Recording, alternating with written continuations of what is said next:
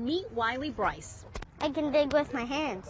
He is, as they say, all boy. I can also lift this. And like any five year old boy, he loves to play in the dirt. Can you help me probe over here? Sometimes he looks for fossils with his dad, who happens to be a zookeeper. Get this rock out of the way. But last year, the preschooler came across something truly unusual. I thought I found a turtle. He walked a little bit ahead of me and came back with a piece of bone, and I knew it was something pretty large. And It turns out what Wylie dug up was actually a 100 million year old dinosaur bone in an area of Mansfield that's under construction. That's dinosaur bone. originally, this was slated for a restaurant parking lot.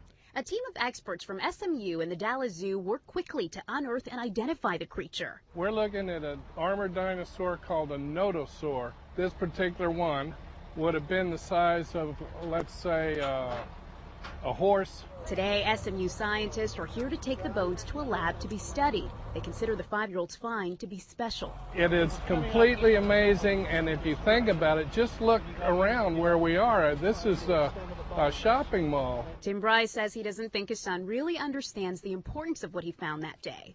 He thinks it's neat that he's found a dinosaur. Um, I don't think he really understands this may never happen again for us. This is probably a once in a lifetime find.